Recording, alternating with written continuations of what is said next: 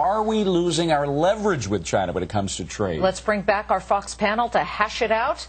And we have, of course, Atlanta radio host from WSB, Herman Cain, former chairman of the Kansas City Federal Reserve, with us, along with Mike Norman and Peter Schiff and Nicole Ridgway from SmartMoney.com. Um, Herman, what do you think? Are we handling this China issue properly? All of the things that Secretary Paulson is addressing with the Chinese, that's just half of the issue. The biggest issue as to why we may be losing our competitiveness with China is our national debt.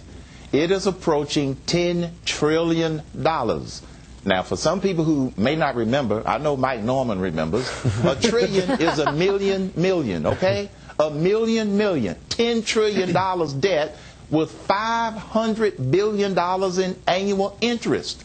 This is where we're losing our competitiveness with China because, as Congressman Duncan Hunter said in that clip, they are becoming our banker.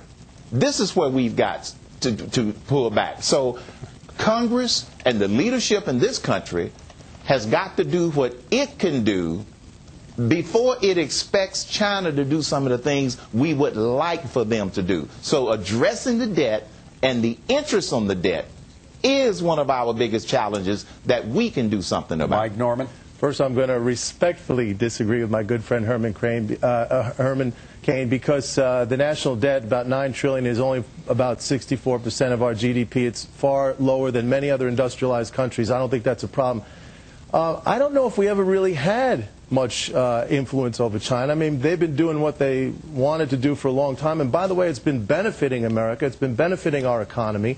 Uh, we've been able to tap into that vast pool of cheap labor. We have access to cheap products. It's helped to raise our standard of living here in the United States.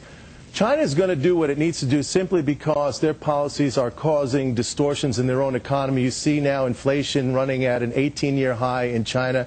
They're going to have to let their currency rise. And in fact, they are letting their currency rise, but they don't have the financial infrastructure there to just allow it to go overnight, a sort of cold turkey type of thing. But it'll happen. Jim, what do you think?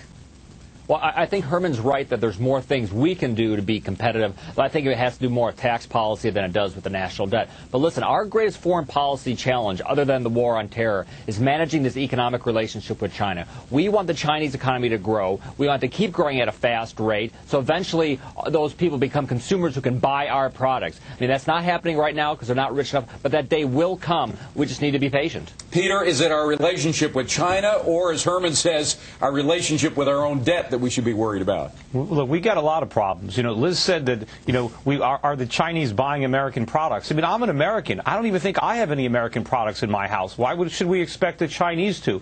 You know, the whole argument is ridiculous. What the Chinese need to do is let their currency appreciate. That's the best thing that can happen for their economy because then the Chinese can afford to buy their own products and we would be stuck with just a bunch of paper money. I mean, they're buying all our bonds and buying all our dollars. I don't even understand why we're arguing with them. The, the, the rapid, the Go ahead. We, we, we, Jim, we, go ahead. Let Jim let Jim respond. I'll say, listen, the, the rapid there are some. I mean, China's currency is appreciating slowly. It's probably going to keep appreciating five, six, seven percent a year. But the rapid appreciation of the Chinese currency would wreck that economy. No, that is the last thing we no, need. It, last in the global economy. It would, you could actually have the you actually have a breakup of China. It, if you think would, that, that'd be a foreign policy disaster. It would wreck our economy. Look, they, they would get wealthier. Their currency goes going up means the Chinese get wealthier. They can afford to consume more. Think prices go down for them.